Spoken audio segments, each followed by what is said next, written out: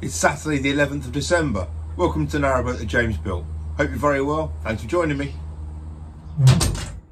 Bed's progressing nicely.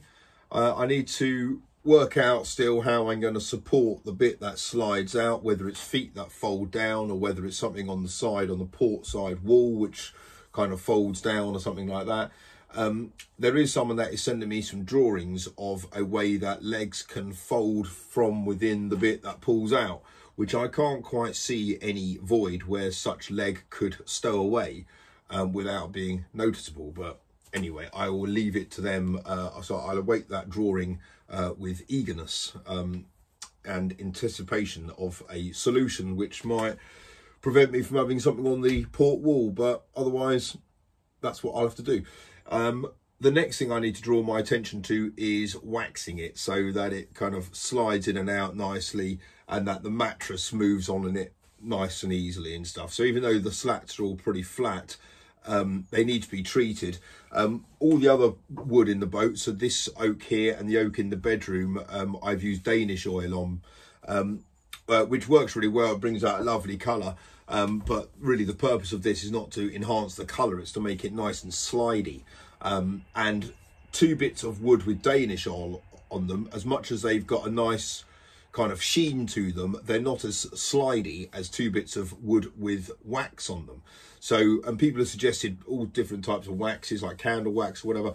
Um, I don't know about any of that. Uh, I didn't want to buy any more, so I've just got myself some of this from um, Mum has uh, got. Well, I said, "Have you got any I could borrow?" She thought oh, she might have some. She went into the dark age, sorry, the garage, and pulled out one of these, which I haven't seen before, Briwax.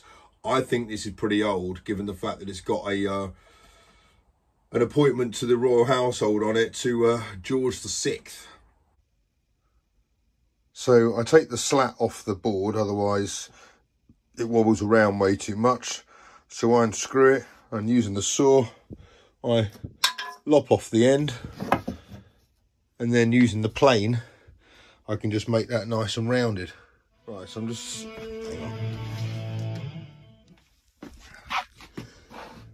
I've just shaped these two, these boards here. You'll see that's the angle I've got on that. So I'm just going on with some Briwax at the moment. Okay, so I've now completed the, well, the back bit. Anyway, this lot here, I put some wax on it now. It slides so much easier. And the other thing, what I've done well, you know what I've done. But on all of those edges, it doesn't really, it's not very easy to show you because I don't want them to bend, but they've all been shaped like that. So they kind of glide in quite easily, even if it was kind of turned down a little bit. Anyway, as it's flat, yeah, that's nice. I will do those sides as well the fixed ones. But for the moment, I just wanted these to slide. I'll also wax the uh, bits, the cross beams. Right, now I've got to do this lot.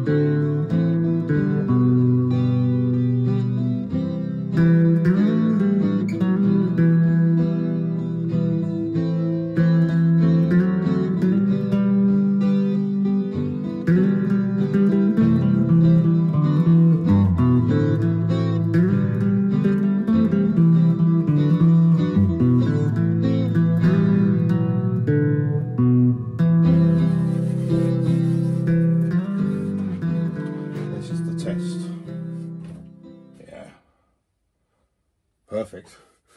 That's quite a decent example there. So it's nice and smooth. So I'm going to attach this one back on with the others.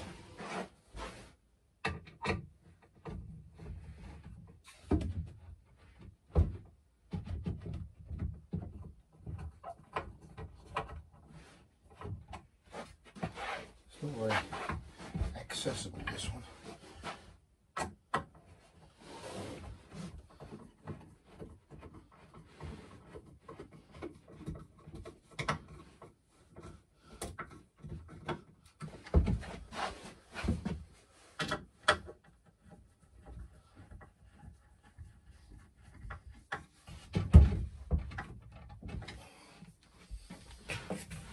Right.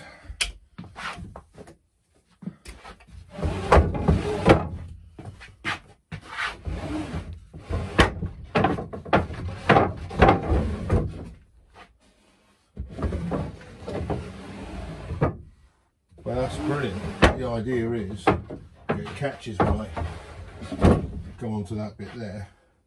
But even though they're kind of a little bit out of line, because they've been shaped so much, they glide in perfectly. Excellent. Yeah, well happy with that. That's a good job, that is. I'm going to change the uh, the front boards as well, so that's going to form part of the fascia of the whole bed, which is obviously the uh, kind of the next task to be getting on with. But for the moment, for this weekend, that works a treat. Happy days. It's important that we look out for one another on the uh, living on the cut. I just walked past this boat here and seen that it's been drifting out. I've just been to knock on it. There's no one. Oh, there's no one on there. Doesn't seem to be anyway, despite the fact that the cratch cover is kind of partly open. Anyway, it's come away from its moorings, so I'm going to get on board and uh, bring it back in and tie it up for her. So their pin had come out, so I've attached it back on. Nearly slipped off the gunwale myself on that one. And to show them that the boat was interfered with, but by a fellow boater, and I used their centre line. I had to uh, put their centre line back properly. This is pretty nice. Not that those are the finished mattresses by any stretch, but this kind of slides in and out freely with something on it, which is perfect.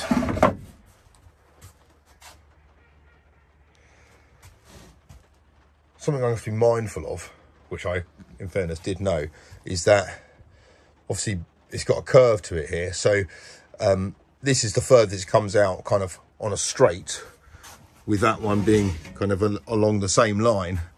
This one, it could actually come out an, another foot. Basically, it can occupy that space there. So I guess if I or Ava wanted to sleep on this bit here and have a bit more length, then that would be uh, sufficient. But obviously that only takes into account if you're sleeping this way. If you're sleeping down here, then basically I've just got an extra, an extra person, which is rather useful because I've got a lot of people. Well, me and the kids have come down to Rickmansworth to Batchworth Lock, where there is a carol concert happening tonight. Oh wow, look at this, this looks lovely.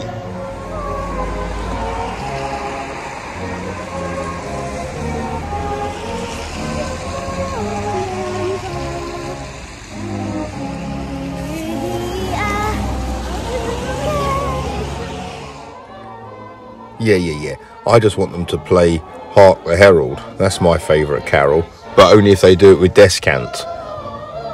Like proper.